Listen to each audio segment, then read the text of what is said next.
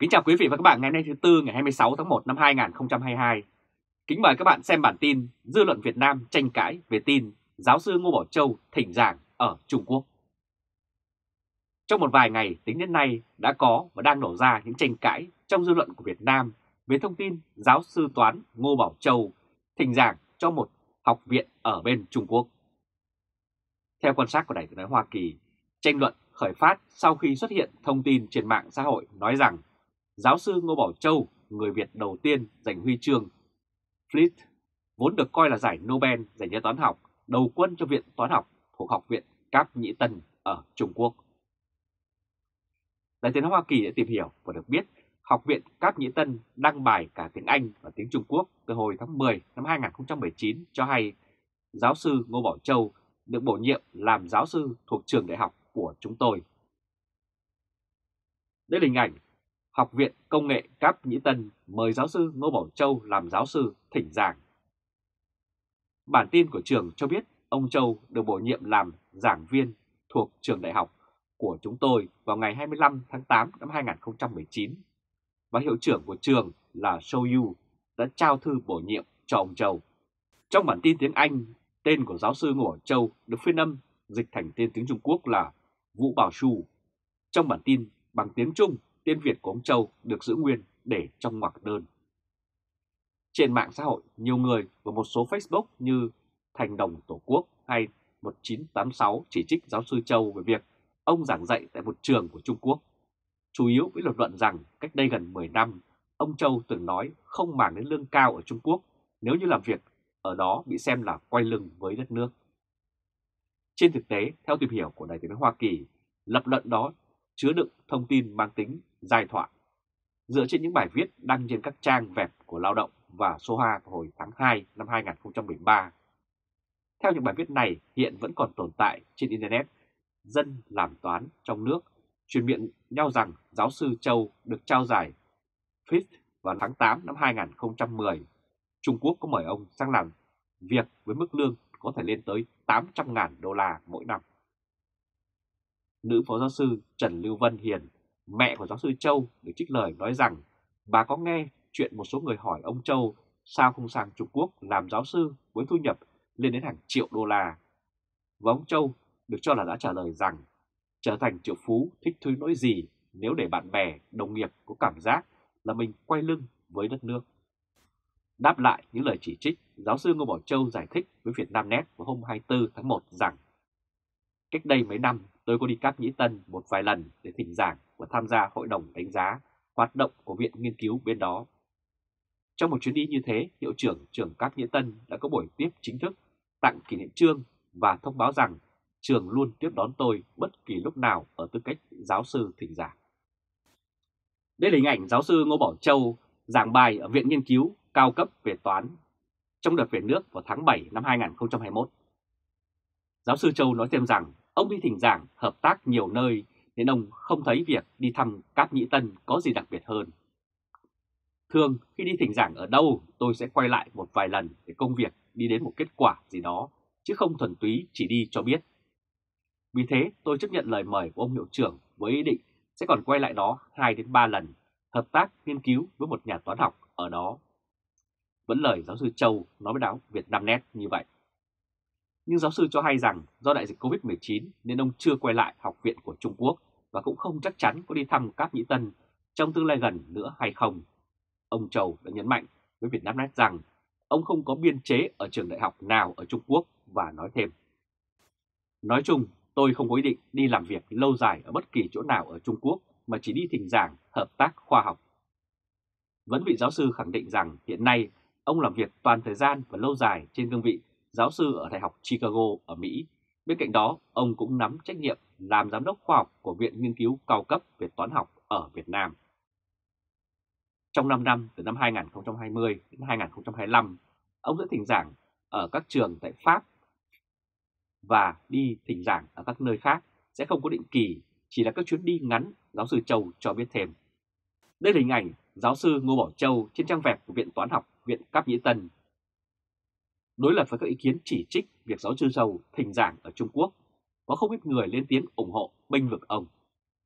Họ cho rằng ông Châu làm việc đâu cũng là cống hiến cho khoa học và nhân loại. Thậm chí có người cho rằng thay vì hàn học với ông bằng chủ nghĩa dân tộc cực đoan, người Việt Nam nên cảm nhận sự tự hào về thực tế rằng cường quốc đông dân nhất trên địa cầu và có nền kinh tế lớn thứ hai thế giới phải mời người của nước láng giềng bé nhỏ hơn nhiều tới để giảng dạy. Với giáo sư Mạc Văn Trang đã nói với Đài tiếng nói Hoa Kỳ về vấn đề này như sau.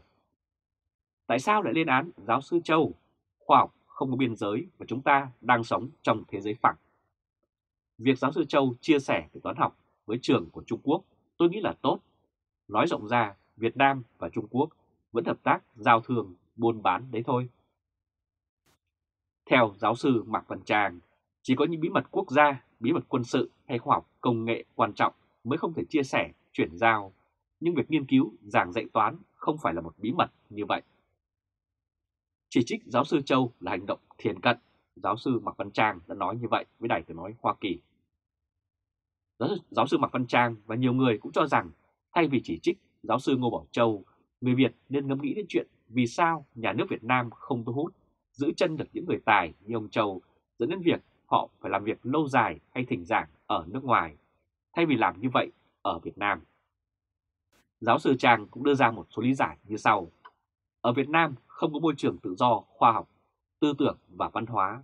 Ngay từ các cấp giáo dục ở cấp thấp cho trẻ nhỏ đã không có sự tự do về suy nghĩ, tìm tòi, phát biểu nên hạn chế về sáng tạo và đó là hạn chế lớn nhất.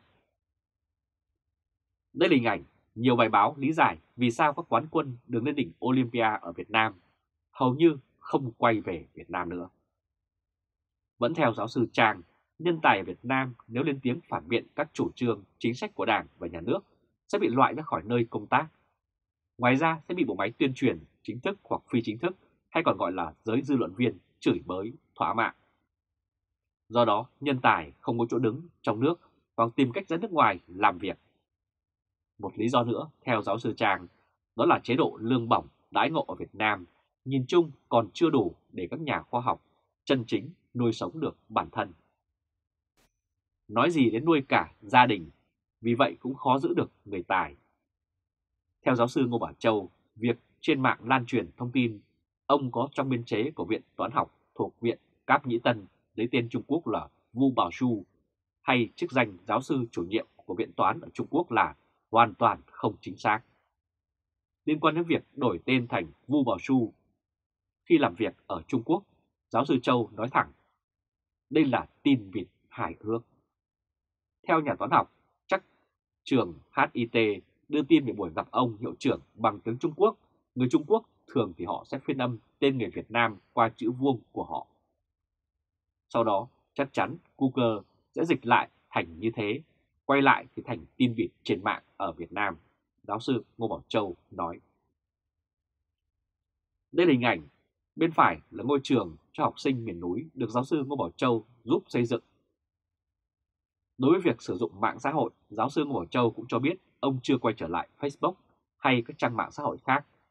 Và trước đó, ông đã có thông báo tạm ngừng sử dụng Facebook do không thấy có vui mà chỉ thấy nhức đầu. Theo giới thiệu trên trang web của trường Đại học Công nghệ Cáp Nhĩ Tân hay Viện Công nghệ Cáp Nhĩ Tân HIT là ngôi trường được thành lập vào năm 1920. Sau gần 100 năm, trường HIT đã phát triển thành Học viện Đại học Nghiên cứu nổi tiếng của Trung Quốc, chuyên cấp bằng cấp về lĩnh vực khoa học, kỹ thuật, quản lý, nghệ thuật, kinh tế và luật pháp. Viện Công nghệ Cáp Nhĩ Tân thuộc nhóm các trường đại học đầu tiên nằm trong dự án 211 và dự án 985 của Trung Quốc. Cụ thể hơn, vào năm 1954, trường được xếp vào 6 trường đại học trọng điểm đầu tiên của nước này được coi là cái nôi đào tạo cho các kỹ sư của Trung Quốc. Vào năm 1996, trường nằm trong dự án 211 và được một trong 9 trường đại học đầu tiên trong dự án 985 vào năm 1999 của đất nước tỷ dân này. Ngoài ra, trường cũng luôn tập trung vào các điều mục chiến lược ưu tiên quốc gia và các lĩnh vực mới trong nghiên cứu. Hiện tại, trường HIT đã phát triển thành học viện hàng đầu về kỹ thuật, đặc biệt là trong lĩnh vực hàng không vũ trụ của Trung Quốc. Từ năm 1917, trường HIT thuộc nhóm các trường hạng A của Trung Quốc. Cùng với đó, Viện Toán học Học viện Cáp Nhĩ Tân thuộc hệ thống Viện Khoa học Hàn Lâm Trung Quốc. Kính mời các bạn xem bản tin Thiền sư Thích Nhật Hạnh từng kiến nghị để Phật giáo Việt Nam tách khỏi nhà nước. Tài liệu của Đại sứ quán Mỹ tại Hà Nội vào năm 2005 ghi lại đối thoại của thiền sư Thích Nhất Hạnh và kiến nghị 7 điểm với chính phủ Việt Nam. Điện tín từ Đại sứ quán Hoa Kỳ tại Hà Nội gửi về Bộ Ngoại giao vào ngày 31 tháng 3 năm 2005 ghi lại các ý chính của cuộc gặp mặt giữa thiền sư Thích Nhất Hạnh và đại sứ Miche Mariner diễn ra vài hôm trước đó theo hồ sơ của Wikileaks. Sau 2 tháng rưỡi được phép về thăm quê hương thành công, thiền sư Thích Nhất Hạnh đã hội kiến đại sứ Michin Mariner tại Hà Nội vào hôm 26 tháng 3 năm 2005. Văn bản tiếng Anh có tựa đề là Vị lãnh đạo Phật giáo bị trục xuất đã về thăm quê hương. Nói đây là cuộc gặp riêng giữa hai người. Trong phần tổng quan, phía Hoa Kỳ ghi rằng, theo lời thiền sư Thích Nhất Hạnh, thì cộng đồng Phật giáo Việt Nam chia rẽ, suy yếu vì sự can thiệp của chính quyền vào các vấn đề của tôn giáo. Tuy thế, phía Hoa Kỳ nói ông không phê phán công khai chính phủ Việt Nam trong thời gian thăm quê hương, nhưng đã trao cho Thủ tướng Việt Nam khi đó là ông Phan Văn Khải một kiến nghị tách giáo hội và chính quyền ra khỏi nhau. Đây là hình ảnh thiền sư Thích Nhất Hạnh trong buổi cầu nguyện cho linh hồn các nạn nhân chiến tranh Việt Nam được tổ chức vào ngày 20 tháng 4 năm 2007 tại một ngôi chùa ở huyện Sóc Sơn, Hà Nội. Ông cũng nhấn mạnh rằng một xã hội có sức sống trở lại có thể giúp giải quyết căn bệnh về xã hội và nạn tham nhũng. Sứ quán ở Hoa Kỳ biết rằng dù Thích Nhất Hạnh ra điều kiện trước chuyến đi là phải để ông đi lại tự do và sách của ông từng bị cấm phải được xuất bản trong nước, nhưng chính phủ Việt Nam vẫn lo ngại ông sẽ trở thành một nhân vật của công chúng. Về xã hội và giới trẻ theo Thích Nhất Hạnh, nói với đại sứ Mariner thì cộng đồng Phật giáo Việt Nam bị chia rẽ và bị suy yếu.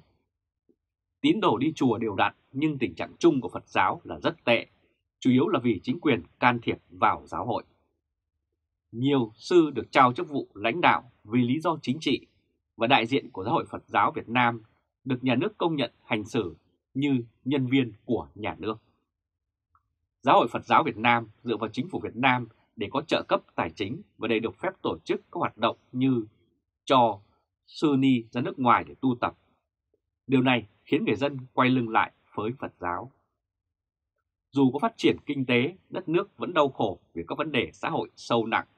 Phân chia rất nặng nề xảy ra giữa thế hệ cao niên đang vật lộn với các vấn đề chính trị và giới trẻ thả mình vào cuộc sống tiêu thụ. Đau khổ cũng xuyên thế hệ rất lớn, thanh thiếu niên không tin vào hạnh phúc gia đình, theo lời thiền sư Thích Nhật Hạnh mà Đại sứ quán Mỹ đã ghi lại. Và ký nghị 7 điểm tách giáo hội Phật giáo khỏi chính quyền.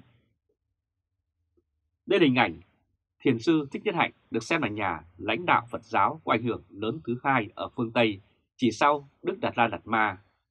Ông là tác giả của hơn 100 cuốn sách xuất bản từ trước năm 1975 cho đến nay.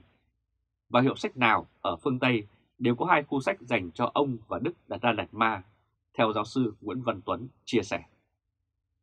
Đặc biệt, Thích Nhấn Hạnh trao cho đại sứ Hoa Kỳ kiến nghị chính sách mà ông đã trao cho Thủ tướng Phan Văn Khải một bản trước đó.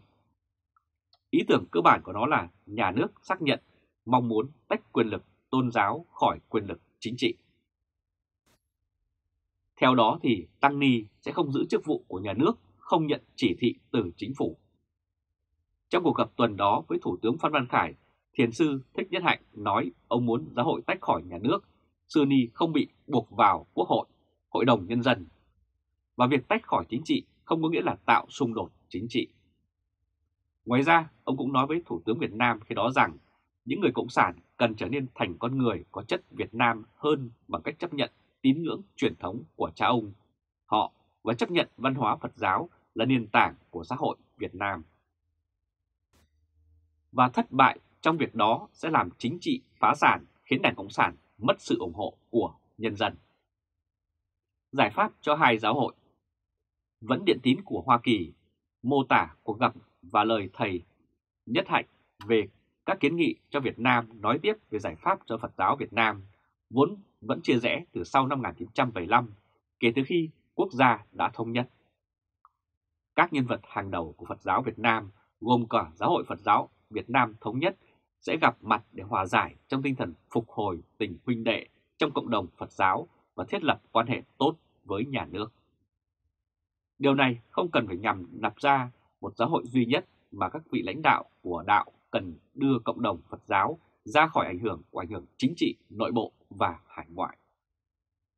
Một điểm nữa trong kiến nghị là để các thầy Thích Huyền Quang và Thích Quảng Độ được quyền tự do cư trú đi lại thuyết giảng đạo Phật ở bất cứ đâu trong cả nước Việt Nam. Vẫn theo kiến nghị này thì Ban Tôn giáo Chính phủ chỉ nên quan sát và ra những khuyến nghị. Còn Phật tử sẽ có ủy ban liên lạc với chính quyền, thế tục nhằm tư vấn cho chính phủ về các cách loại trừ lạm quyền, bất công, tham nhũng và những gì sai trái với nhà nước, dân tộc và đạo Phật. Đây là hình ảnh thiền sư Thích Nhất Hạnh và mục sư Martin Luther King vào năm 1966. Mục sư Martin Luther King từng viết thư đề cử trao giải Nobel Hòa Bình cho thiền sư Thích Nhất Hạnh. Cuối cùng, Hòa thượng Thích Nhất Hạnh nói với đại sứ Mỹ rằng ông có thể hình dung ở vai trò trở về Việt Nam để làm công việc tạo điều kiện cho Phật giáo nở rộ một lần nữa. Điện tín của Sứ quán Mỹ cho hay sư cô chân không có mặt cùng thầy Nhất Hạnh tại cuộc gặp vào ngày 26 tháng 3 với đại sứ Hoa Kỳ. Văn bản cũng mô tả một số mâu thuẫn giữa các vị lãnh đạo Giáo hội Phật giáo Việt Nam thống nhất với tăng đoàn Làng Mai về chuyến thăm quê hương của họ. Các lãnh đạo giáo hội thống nhất bị cấm hoạt động và đã là chuyến thăm của Việt Nam của thầy Thích Hạnh Hạnh đem lại tính chính danh cho cách nhà nước kiểm soát tôn giáo. Còn về phía nhà nước, Sứ quán Hoa Kỳ ghi nhận Bộ Nội vụ, tức là Bộ Công an, phản đối chuyến thăm quê hương của thiền sư Nhất Hạnh, còn Bộ Ngoại giao thì lại ủng hộ. Vào năm 2017, chính quyền Việt Nam cho thiền sư Thích Nhất Hạnh về sống ở quê hương nhưng ông đã qua đột quỵ, sức khỏe yếu, không còn thuyết giảng trước công chúng. Ông viên tịch vào lúc rạng sáng ngày thứ Bảy 22 tháng 1 năm 2022 tại chùa Từ Hiếu ở Huế. Bản thỉnh cầu của thiền sư Thích Nhất Hạnh gửi đến Chủ tịch nước Nguyễn Minh Chiết đã được công khai. Đây là hình ảnh thiền sư Thích Nhất Hạnh tại một buổi tọa đàm của Ngân hàng Thế giới vào năm 2013. Cũng theo Làng Mai vào ngày 5 tháng 5 năm 2007, trong buổi tiếp kiến Chủ tịch nước Nguyễn Minh Chiết, thầy Nhất Hạnh có đệ trình một bản thỉnh cầu 10 điểm dưới đây. Nhưng không rõ ông Chủ tịch có hồi đáp hay không, còn trong thực tế thì chẳng có thay đổi gì theo bản thỉnh cầu này. Thứ nhất là xin chính phủ ra lệnh lập một đài tưởng niệm thuyền nhân thiệt mạng trên biển cả tại vùng Vũng Tàu. Thứ hai là xin cho các thân nhân của những người được chôn trong các nghĩa trang quân đội Việt Nam Cộng Hòa cũ được dễ dàng viếng thăm, cúng lễ và bốc mộ. Thứ ba là xin chính phủ yểm trợ việc xây dựng tháp kỷ niệm Bồ Tát Thích Quảng Đức tại thành phố Hồ Chí Minh. Thứ tư là xin cho những người gốc Việt cư trú ở nước ngoài được về nước thăm viếng, làm việc, đầu tư, giảng dạy, hoàng pháp mà không cần visa. Thứ năm là xin bắt đầu cho phép một số người gốc Việt cư trú ở nước ngoài được có song tịch là quốc tịch đôi để họ có dịp bày tỏ niềm trung thành của họ với Tổ quốc và quê hương. Thứ sáu là xin đừng xem các thầy và các cụ sư cô gốc Việt ở nước về nước để yểm trợ Phật giáo là những giáo sĩ ngoại quốc và xin cấp phát dễ dàng cho các vị ấy loại visa làm việc tôn giáo nhiều lần trong 5 năm một cách dễ dàng, mau chóng. Xin chính phủ cho phép các vị ấy chia sẻ sự tu học của mình đến mọi tầng lớp nhân dân, cũng như ngoài các cơ sở của cơ hội, của giáo hội, cũng như các cơ sở công cộng khác của đất nước mà không có sự phân biệt, kỳ thị. Thứ bảy là xin cho một chính sách đặc biệt đối với Phật giáo, bởi Đạo Phật đã là nền móng dựng nước và giữ nước trong gần 2.000 năm và là yếu tố chính của nền văn hóa Việt Nam. Thứ 8 là để Phật giáo theo kịp đà hội nhập và đời sống mới, chấm dứt tình trạng ủng trệ hiện nay và đóng góp tích cực phần mình vào công trình văn hóa, nếp sống gia đình, cộng đồng và xã hội. Xin cho phép Phật tử Việt Nam tự do thành lập nhiều hội đoàn Phật giáo với những nét đặc thù của mình. Những hội đoàn này chỉ cần đăng ký hợp pháp là có thể hoạt động được ngay như ở bất cứ một nước văn minh nào trên thế giới. Đây là hình ảnh Đại sứ Mỹ tại Việt Nam Daniel thăm thiền sư Thích Nhất Hạnh.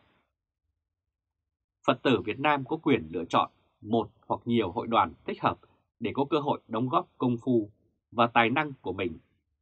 Những hội đoàn này có quyền truyền bá tư tưởng và pháp tu tập của mình ra các nước ngoài, tương tự như phương thức VTO trong lĩnh vực kinh tế. Các hội đoàn đó có thể bao gồm Giáo hội Phật giáo Nguyên Thủy, Giáo hội Phật giáo Thiền Tông, Giáo hội Phật giáo Tịnh Độ Tông, Giáo hội Phật giáo Khất Sĩ, Giáo hội Phật giáo Thiên Thai Giáo, Quán Tông, Giáo hội Phật giáo Thiền Tịnh Đạo Tràng, Giáo hội Phật giáo Sư Sãi Tây Nam Bộ, Giáo hội Phật giáo Nam Tông Khmer, Giáo hội Phật giáo Thống Nhất, Giáo hội Đạo Bụt Nhất Quán, Giáo hội Phật giáo Hiện Đại Hóa và Gia đình Phật tử, Hội sinh viên Phật tử, Hội học sinh Phật tử, Hội các nhà khoa học Phật tử và Hội các nhà giáo Phật học. Thứ 9 là xin cho Tăng Ni được phép tăng hành đạo khắp nơi trên lãnh thổ quê hương như Hòa Thượng Đệ Nhất Pháp Chủ Thích Đức Nhuận tuyên bố không bị hạn chế bởi vấn đề hộ khẩu. Có quyền dựng chùa viện bất cứ ở đâu, không kể nơi đó có nền chùa cũ hay không. Các tỉnh Thanh Hóa, Nghệ An, Hà Tĩnh, Quảng Bình, Lào Cai, Thái Nguyên, vân vân. Xin chính phủ thực hiện việc tách rời tôn giáo khỏi chính trị và chính thức chính trị hóa tôn giáo, ngưng lại mọi quản chế của chính quyền trên giáo quyền, giải thể ban tôn giáo chính phủ và trước hết là ngành công an tôn giáo. Tất cả các đoàn thể tôn giáo đều được sinh hoạt tự do trong khuôn khổ pháp luật hiện hành như bất cứ một hội đoàn văn hóa, thương mại, công nghệ và xã hội nào.